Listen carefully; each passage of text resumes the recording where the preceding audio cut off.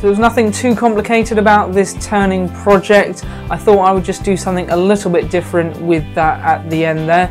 I hope you enjoyed watching this video and as always I hope you'll take the time to like, comment, share and subscribe before you leave. Take care everyone, I'll see you very soon, bye bye.